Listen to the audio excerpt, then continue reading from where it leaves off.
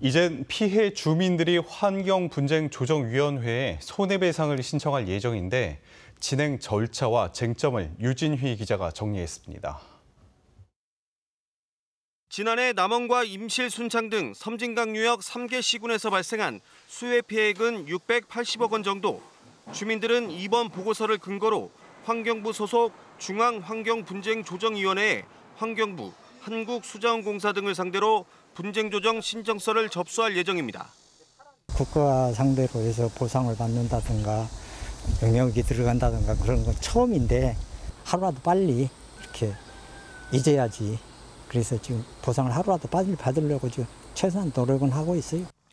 위원회는 담당 조정위원회를 꾸려 현지 조사 등을 거친 뒤 이해 당사자를 불러 최종 조정을 하게 됩니다.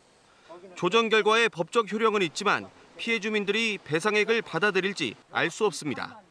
관여된 기관들이 많지만 보고서상으로는 책임 소재가 불분명한 점도 문제입니다.